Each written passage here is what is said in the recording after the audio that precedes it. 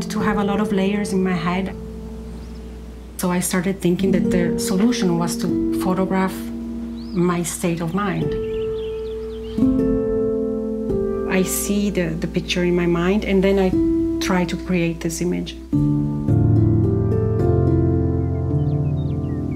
I was looking for finding a way to really put the woman and the flowers together without giving importance to one or the other more.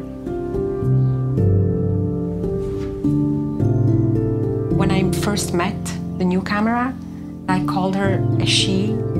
She looks simple, but she's complex like women. I could immediately feel that people wouldn't be disturbed by the presence of the camera. It has a really simple design. Everything is under control. I can really let myself go. Imagine you're a child and you're in your space. I had a mixture of new lenses. Stay, stay down. The 50 is really good.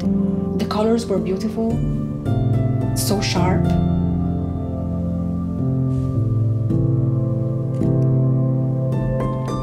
But I also think that the adapter is so good.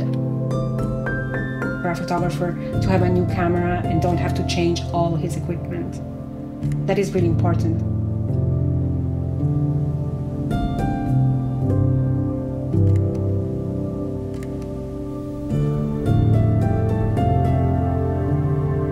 I opened the raws, I didn't have to touch them. I have a vision of the picture I imagined, its power and fragility. I think that when a woman overcomes fragility, that's when she becomes powerful. I called it a rummage of flowers. It is about seeking inside myself. It's the self portrait that I'm looking for.